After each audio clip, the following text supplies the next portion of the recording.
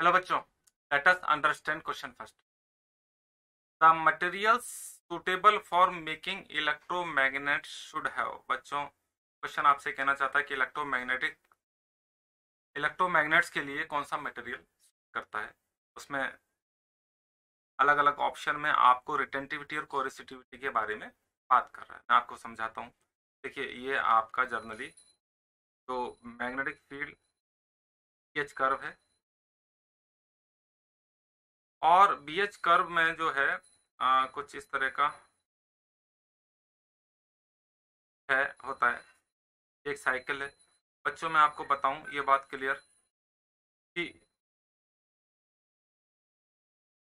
high retentivity and low coercivity का मतलब क्या है? हाई रिटेंटिविटी का मतलब है बच्चों। हेलो बच्चों let us understand question first the materials suitable for making electromagnets should have बच्चे क्वेश्चन कहना चाहता है कि इलेक्ट्रोमैग्नेट जो आप बनाते हैं, के लिए कौन सा मटेरियल सूट करेगा और उसके पास क्या प्रॉपर्टी होनी चाहिए?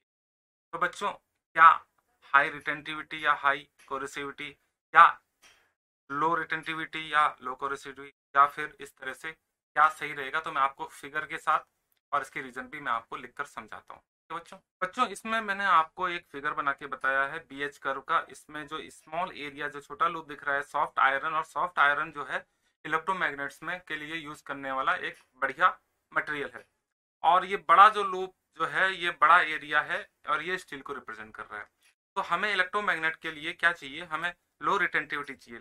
रिटेंटिविटी का मतलब क्या होता है? देखिए कि जब हम आ, हमने क्या है आ, आ, अगर कोई मटेरियल है इसको हमने इसके चारों तरफ़ सोलिनाइट में या करंट इसमें फ्लो करी तो करंट फ्लो होने के कारण ये मैग्नेटाइज होगा। अब क्या है, जैसे ही मैं इस करंट को स्विच ऑफ़ करूँ तो इसके अंदर का मैग्नेटाइजेशन, यानी कि इलेक्ट्रोमैग्नेट का मैग्नेटाइजेशन क्या हो जाना चाहिए? डिस्ट्रॉय हो जाना चाहिए, ताकि मटेरियल अब कह सकते हैं स्विच ऑफ़ होने के बाद वो मैग्नेट नहीं है। तो रिटेंटिविटी क्या होनी चाहिए? लो। फिर बात आती है low coercivity. Low value of reverse magnetising field intensity H required. देखो बच्चों, जब एच की जब मैग्नेट ये मैग्नेटाइजेशन मैग्नेटाइजेशन इस पर हो चुका है।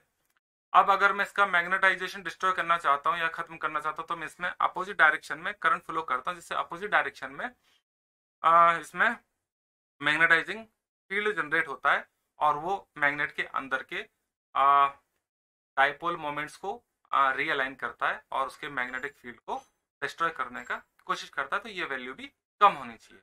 ठीक है बच्चों? तो फ़र्स्ट ऑप्शन तो high retentivity and high coercivity ये तो हो गया गलत। Second option low retentivity and low coercivity बच्चों ये ही करेक्ट आंसर हो गया। तो I hope understand it very well and all the best